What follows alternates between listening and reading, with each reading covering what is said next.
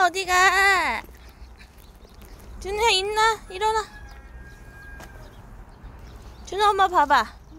준우 왜 모자 그렇게 썼어? 우와 준우 멋지다. 아니야. 어 빠지면 안. 준우야 일로 와. 준우야 고양이 두 마리 있다. 고양이 두 마리 있다. 왜 그래? 손 더러워져 버려. 버려. 준우야 날씨 좋다 그치? 준우야 이준우.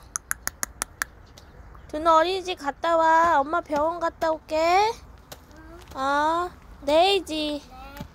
준우는 어린이집 가고 엄마는 병원 가고. 이리 오세요 옳지 준우 말 잘 듣는다 엄마 귀 아파서 병원 갔다 올게 알지? 내일지 어디 가요?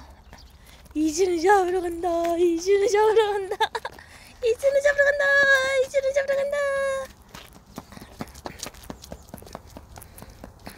이리 와 어디 가? 자전거 탈래 준우야? 준우 태블릿 끄고 자전거 타. 태블릿 꺼. 준우 어린이집 차 와. 자전거 금방 그만 타야 돼. 자전거 금방 탔는데 어린이집 차가 오네. 우리 한 번만 타.